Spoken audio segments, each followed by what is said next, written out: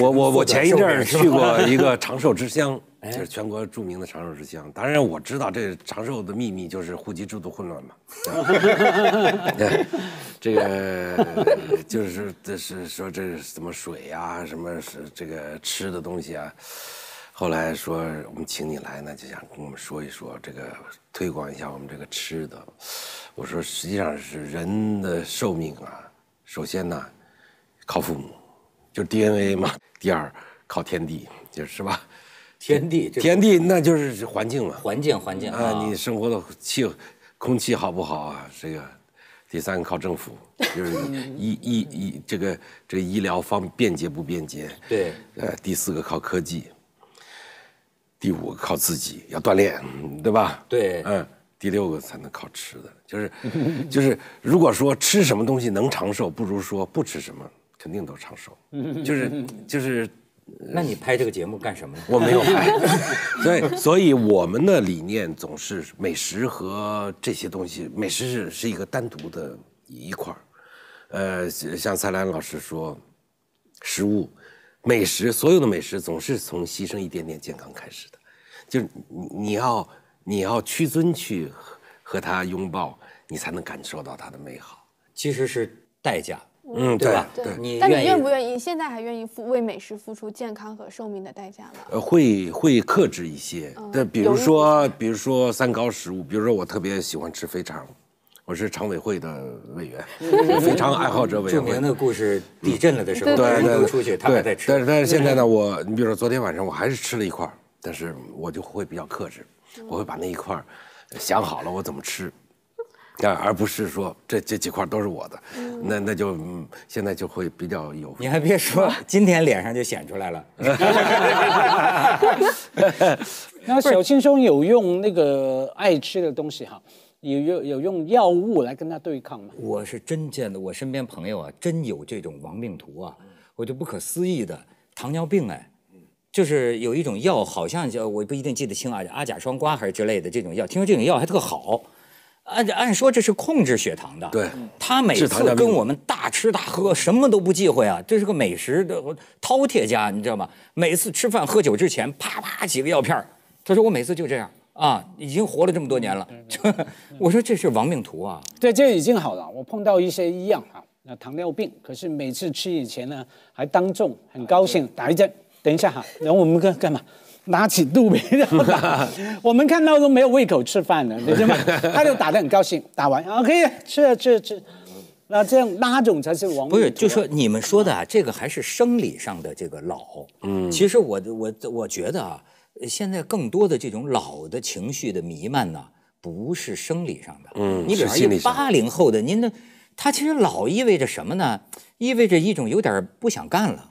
就觉得这辈子就这样了，对，就这样了，也就觉得有点没劲了，呃，或者说觉得自己活的吧，就是看不到呃指指望似的，呃，甚至于你包括这女演员最典型，你记得那姚晨呃演讲的节目里演讲不是说嘛，说我生个孩子，结个婚生个孩子，再出来发现。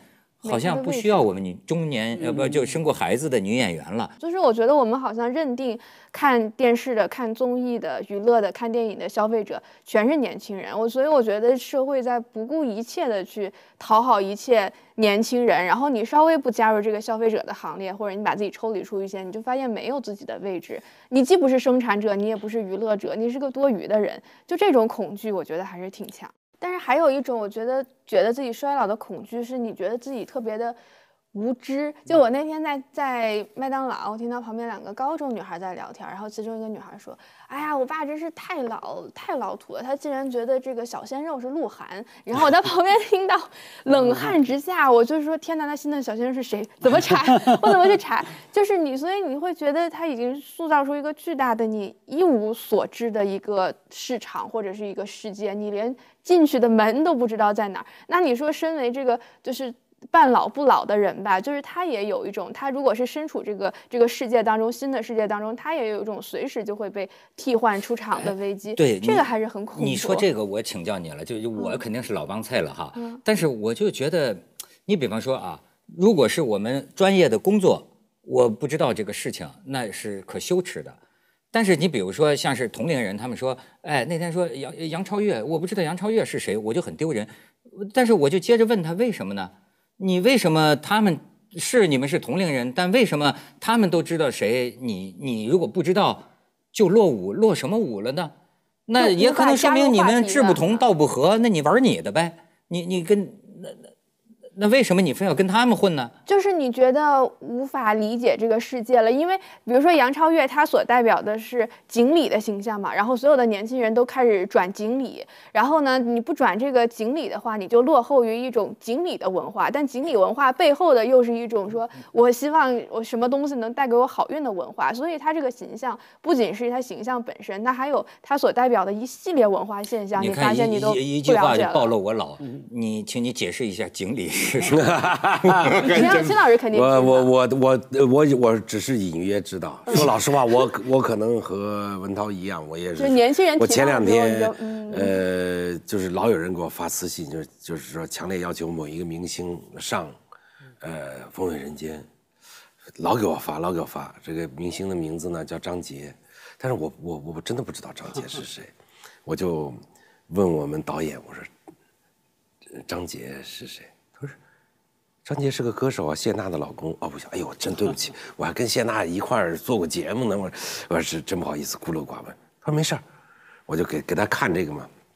他说没事儿，今天晚上就有张杰，就那一集里面正好有个厨师，他名字就叫张杰。但是呢，我还是忽略了，就是我我我认为这是一个很幽默的事情。我我在微博上就把他秀了一下。对，但是我我。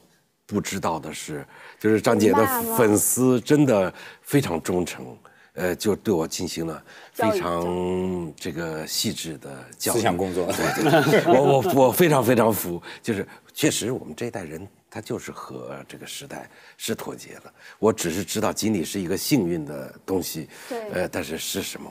不是不知道不代表不尊重啊。嗯，但是你就没有办法加入到这个亚文化的这个讨论当中，而且当这亚文化成为主要的文化的时候，你作为文艺工作者，你该怎么办？所以我觉得，所以很可文艺工作者，对。对啊，所以没有，而且我就是在说，其实对于我们中老年的文艺工作者来说，很可悲的一点就是，我们拼命的想去捕捉年轻人的亚文化，去学习他们的语言是什么，语言方式是什么，他们的文化是什么，但是你就相当于用自己的第二。语言去学习别人的母语，当你学会的时候，人家早就进化出一套新的语言，你永远赶不上趟儿。就所以我觉得这是很多为什么八零后虽然他们又是又有点年轻又不年轻，甚至是九零后，但他们觉得已经在这个主流文化以外了，他们加入不到这个整个的浪潮、整个的热闹当中。没有，因为我们年纪大了一点，我不懂你这个无所谓，我甚至自豪我不懂。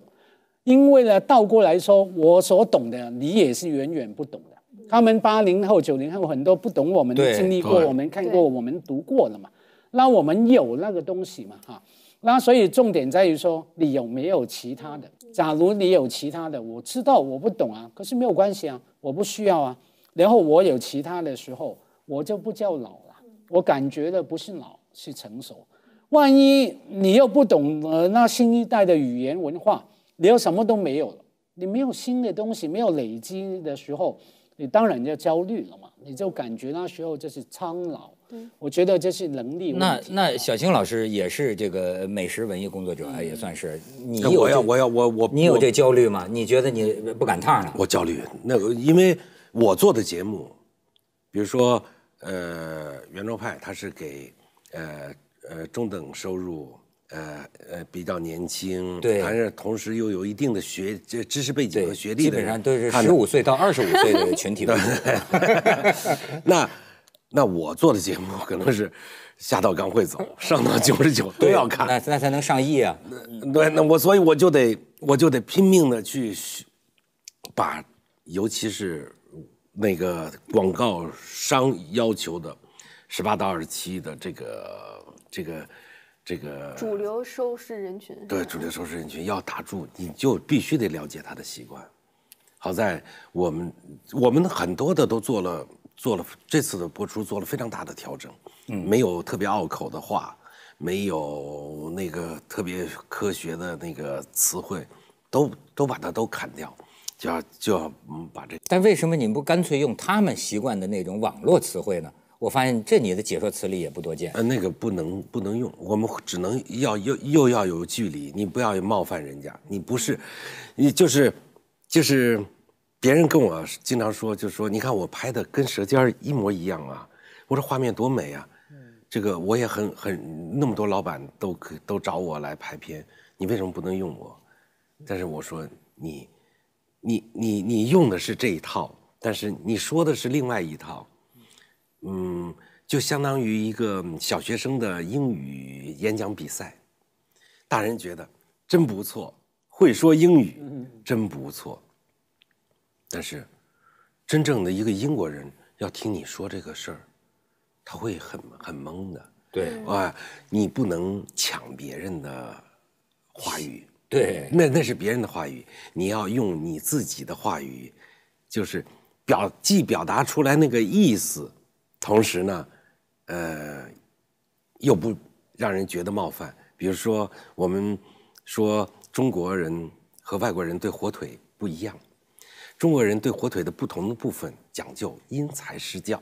那这是我们这一代人的话，那好多年轻人就在底下说：“嗯，导演真够皮的。”这是他表示认可。但是呢，我我当然也可以用，呃，特别年轻人的话语来讲，那这实际上是冒犯。你每个人有自己的话语体系。哎，所以年轻人其实，在这一点上是，其实是很残酷的一点，就某种其实像动物一样，当你察觉到他老并且示弱的时候，他就是会毫不留情的去嘲笑你。就是当我爸开始跟我说网络语言的时候，你知道，就那我还是那时候我在是说爸什么酷毙了，当然还是那种很很古早的网络语言，但我内心其实是嘲笑的，就是这是年轻人一种特有的。残酷就是他，他会发现，当你讨好他的时候，他不会因此觉得我被讨好了，而是觉得那我就可以去嘲笑你了。所以我觉得这个对于年纪大的人还是挺那个，还是挺挺尴尬的一点。真的尴尬，因为我脑子里一下想起很多这个事情啊，是代代人都有这个问题。比如说胡适老先生就说过，说不要谄媚年轻人，对吧？他是一种态度。来，我我现在觉得有些像我们这个岁数的人，其实挺可怜的，你知道吗？就是，所以我也就慢慢知道，我从小青这儿学习的还是和而不同。对，咱们是不一样的嘛，对吗？但是呢，我们应该互相沟通，我了解你就行了，但不，我要变成你，哎，那我的价值就没有了。呃，对，而且甚至你就变成可笑的了，你就变成娱乐人物了，对对吧？你这就像我有的，我们有有有有一个爸爸，我们有一个朋友说，哎，说现在都是这个爸爸不陪孩子啊，给给妈妈说了半天，说来咱玩啊。看他孩子一帮人拿着 iPad 在那玩，就冲过去了。嗨，咱们一起玩，叔叔来跟你们玩，这东西怎么怎么玩？妈的！后来我就观察他和周周周周围这帮小孩都是。傻呀！这哎，人家也不好不跟你这叔叔玩儿啊！好好好好好。我前两天去，哎我前两天去蹦迪，大家看我也是这样的眼神。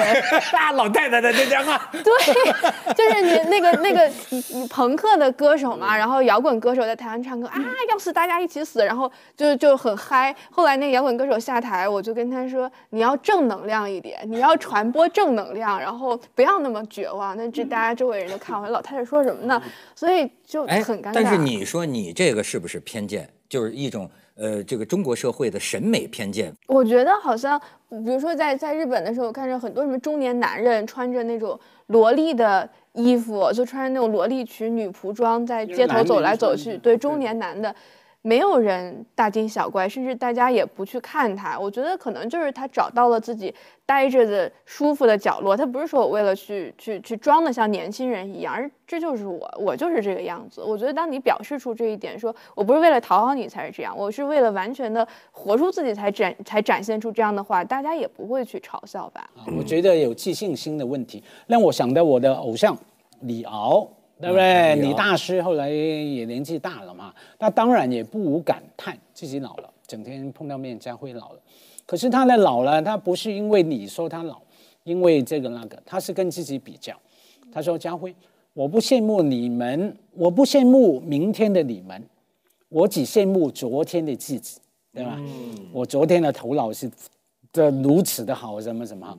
我的哀伤对于老的哀伤在于说，呃跟自己比呃来做一个比较哈，那也是一个自信心嘛。就是年轻和老是一个非常微妙的关系，而对于年轻人来说，年轻是他们唯一拥有的一点。就是我就大家老是说，哎，年轻人不要怎么样，年轻人不要怎么样。但是年轻是年轻人唯一拥有的一点，就是一个七零后，一个六零后，他有房子，他有话语权，他有老婆，他有自己的事业，他有很多东西。但是对于年轻，年轻是他有唯一的资本，所以他必须把这个东西最大化的去表现出来，成为自己优越感的这样的一个一个。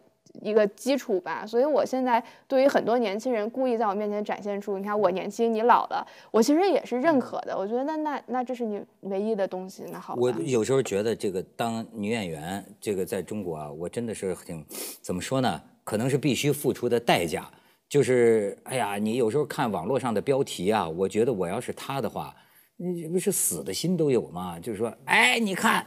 那那就是是一夜之间，怎么他老成这个样子了？或者就哎呦，他怎么怎么就就就胖了？哎呦，无良媒体这是。哎呦，我就我就觉得你怎么能那样说一个女性呢？你知道吗？就是我我会我会觉得，当然你也得当得起。你像那次我看周迅跟那个陈可辛对话，周迅说他就经历过那个时候嘛，他就说到第二天早上可能会因为自己的一个皱纹，嗯，就哭就哭啊。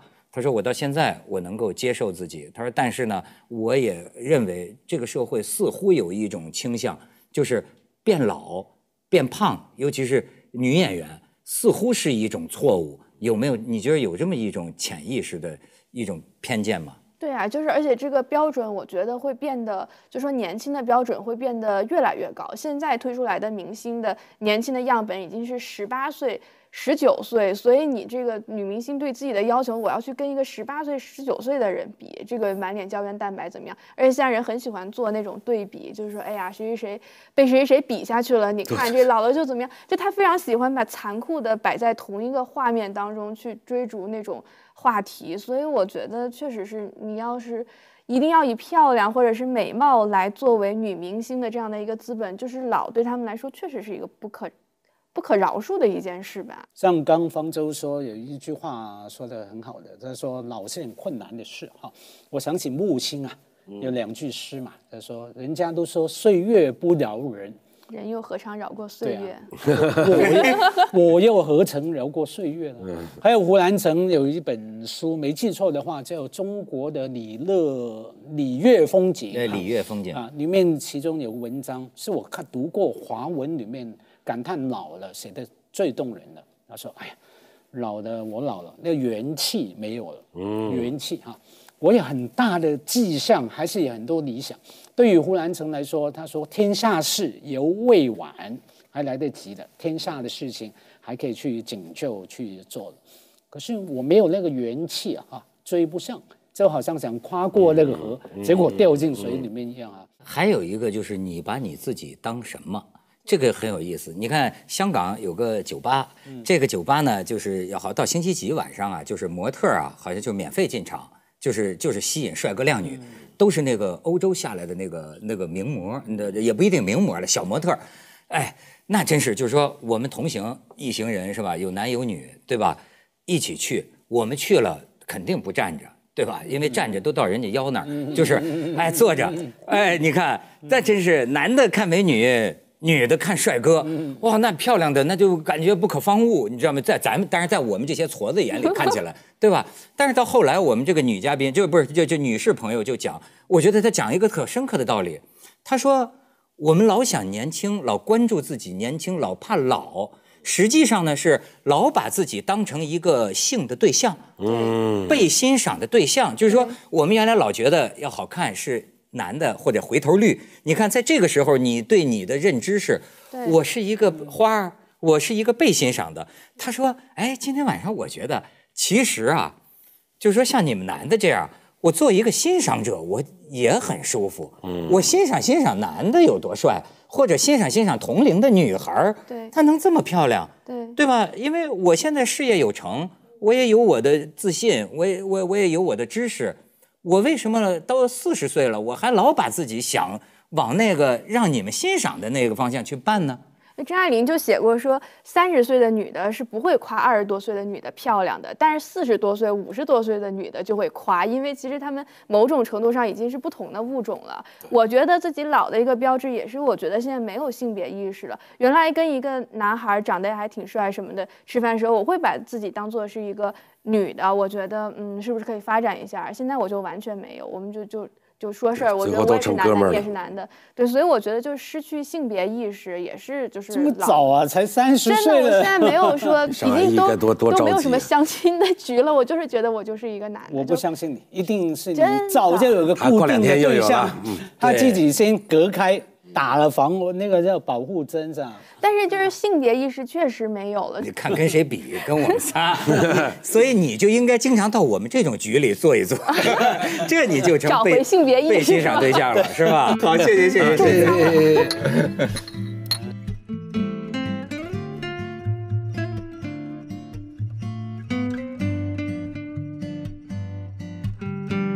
就是有一种药，好像叫我不一定记得清啊，阿甲双胍还是之类的这种药，听说这种药还特好。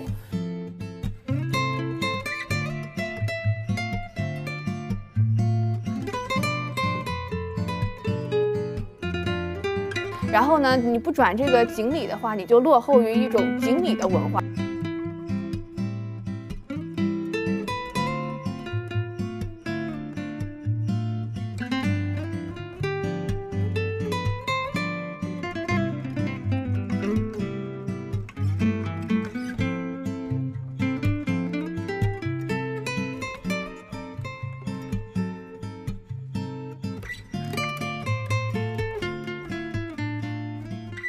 这世界很酷。